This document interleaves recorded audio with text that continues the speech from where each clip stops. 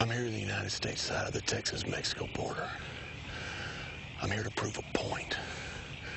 You see, this is our most porous part of our entire border. It's basically uninhabited and unpatrolled.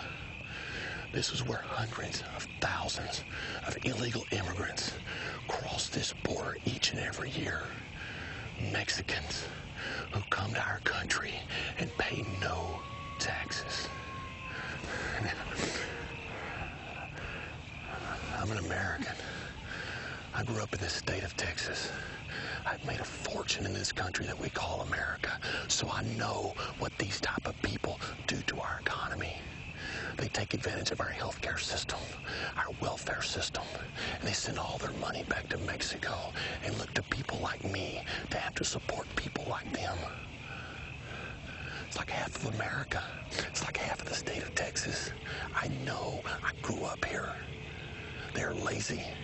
They look to government like it's big brother and say, please give me a handout. That's why people like me who've made my own money have such outrageous taxes to pay for people. I told you. I told you it wouldn't be long. Now I'm going to prove my point. I'm going to prove my point. Right there. It's a whole herd of Mexicans. The government Texas is too scared. Texas is a bunch of cowards.